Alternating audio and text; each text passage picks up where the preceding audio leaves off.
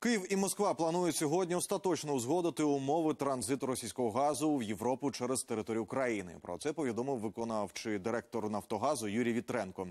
Кожна сторона має свої проєкти договорів, а підписати потрібно тільки один комплект. Додав він і наголосив, що Поступатися національними інтересами Київ у жодному разі не буде. Нагадаю, тиждень тому в рамках переговорів у форматі Україна ЄС Росія сторони підписали протокол, що передбачає виконання низки домовленостей. Зокрема, новий контракт укладають на 5 років з можливістю подовження до 10.